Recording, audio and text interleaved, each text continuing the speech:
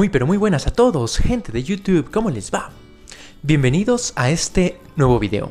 En este video les voy a estar mostrando de manera práctica y bastante gráfica cómo nosotros vamos a polinizar manualmente plantas monoicas. Con monoicas me puedo referir a las plantas que tienen tanto flores femeninas como flores masculinas por separado en la misma planta. Algunos ejemplos de estas plantas pueden ser la sandía, el pepino, la calabaza, entre muchas otras. Entonces aquí gráficamente vamos a hacer una polinización manual con una planta de calabaza que yo tengo en casa y les voy a estar explicando el proceso paso a paso. Así que no se pierdan el video. Cualquier cosa, cualquier duda, síganme en las aplicaciones móviles. Cualquier duda o pregunta me lo pueden hacer a través del chat de la aplicación de The Null Farming. Sin más ni más, pues comenzamos con el video.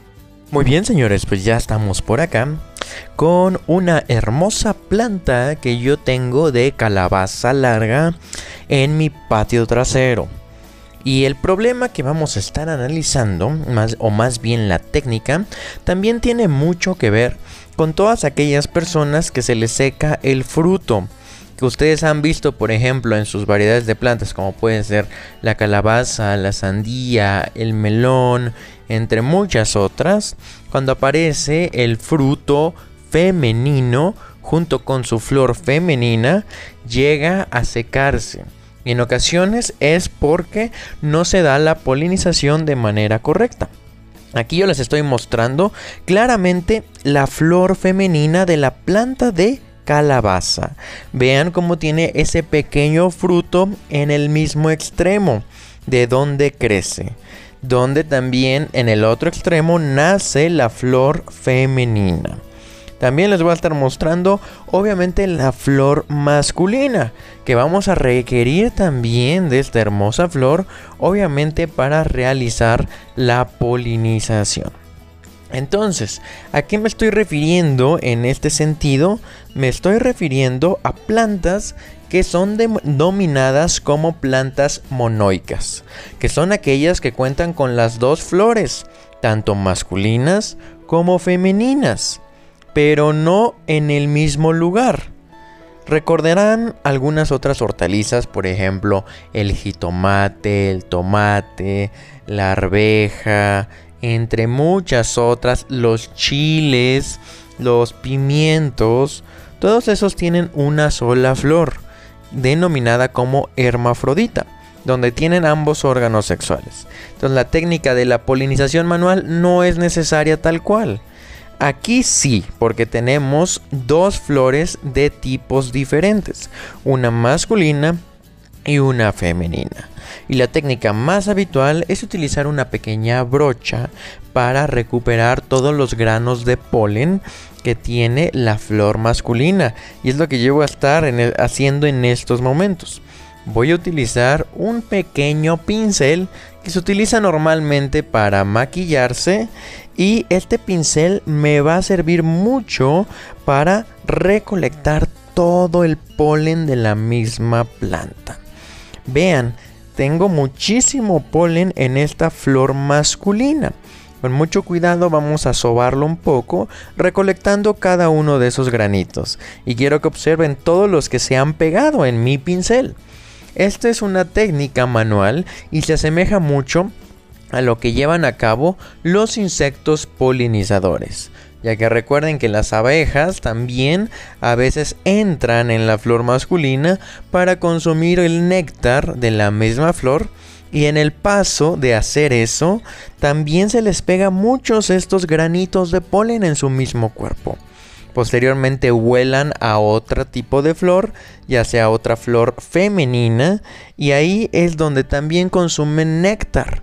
Pero como ya traen bastantes granitos de polen, esos, esos granitos se van a quedar impregnados en esta zona de la flor femenina en todos los pistilos para que ahí se pueda realizar la polinización y la fecundación del mismo fruto.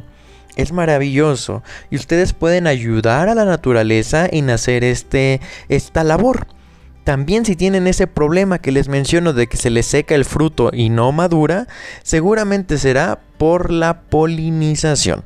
Entonces háganlo. Como nosotros y la mayoría de nosotros tenemos eh, huertos urbanos, huertos en macetas en nuestra casa, posiblemente en zonas completamente urbanizadas, esta técnica es infalible, ya que a veces la cantidad de abejas no es muy grande en las zonas urbanas. Están escaseando ya los insectos polinizadores en las zonas urbanas. Entonces, para tener una correcta polinización en las plantas monoicas, que van a tener tanto una flor masculina y flores femeninas, es necesario llevar a cabo esta técnica. Entonces es maravilloso. Algunas otras plantas que también son de este mismo tipo, que son monoicas. Entre las más famosas está el maíz, la calabaza, el sorgo, también pues el trigo obviamente. Entonces tómenlo mucho en cuenta. También el melón. Todo lo que es de la familia de las cucurbitáceas tienen esta peculiaridad. El melón, el pepino, la sandía, la calabaza, entre muchas otras. Ahora bien, también se preguntarán, mientras yo sigo polinizando y obteniendo más granitos de polen, se preguntarán, oye Denol, ¿por qué mi planta únicamente está produciendo flores masculinas, pero ninguna flor femenina?